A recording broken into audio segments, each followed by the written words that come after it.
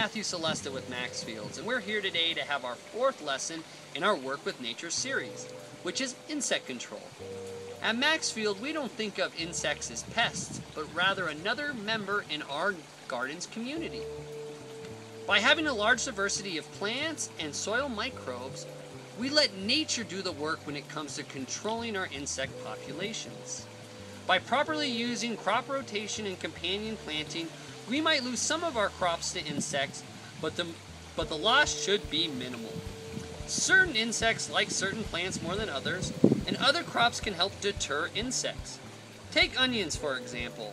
They can be so aromatic that just a few planted around the garden can keep pesky bugs at bay.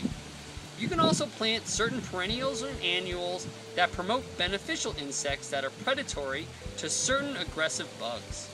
Marigolds is a great example of this. Their flowers will attract hoverflies, which in return can control aphid egg colonies in their larval stage.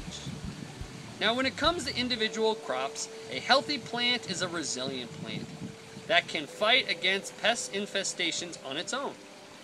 By correctly using our Maxfield soil products, you will give each plant the best chance to compete against these persistent bugs by optimizing nutrient uptake buffering, buffering pH, and sheltering roots from extreme conditions. You can also give a localized immunity boost by applying compost tea to the bottom of the leaves where insects tend to hang out. Please refer to our compost tea video to learn how to make your own compost tea using our Maxfields planting mix.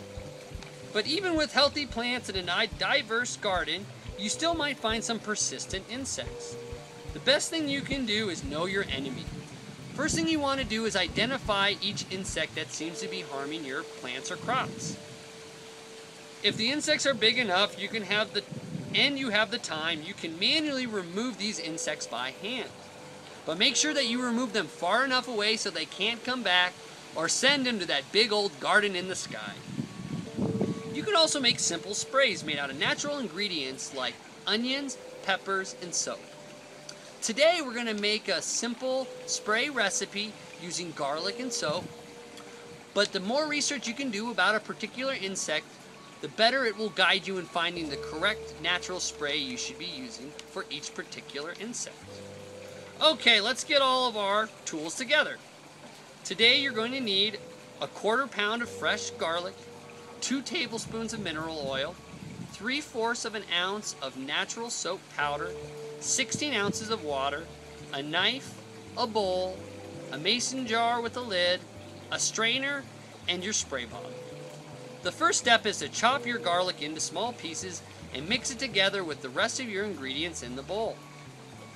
Now you can transfer your contents of the bowl into the mason jar, screw on the lid, and let it sit for about two days. At this point, you're going to want to strain out all the chunks and pour the liquid back into the bowl. Once you have the new liquid in the bowl, you can transfer it over to your spray bottle and start applying it to the affected areas of the plant that show insect infestation. The last technique we suggest is using a trap. A great trap we like to use is two damp pieces of cardboard. During the day, certain pests will burrow in between the pieces of cardboard in, to get out of the heat. Before the sun goes down, go back to the damp cardboard and squash them. If you are faint of heart, we do not recommend looking between the two pieces of cardboard before or after you smash it up. And please note that this is an extreme case for insect infestation. Our goal is to work with nature, not against it. And remember, not all insects are bad. Go over to our Facebook page and tell us what insects you like to see in your garden. I mean, who doesn't like a butterfly? And if you have any issues identifying or controlling insects, please post comments or photos on our wall. Subscribe to our YouTube channel to watch more videos on establishing our roots, working with nature, and celebrating the harvest. You can always find us on Twitter, Pinterest, and Instagram, and don't forget to sign up to our newsletter at www.maxfieldsorganics.com. So until next time, I'm Matthew Celesta. Happy farming.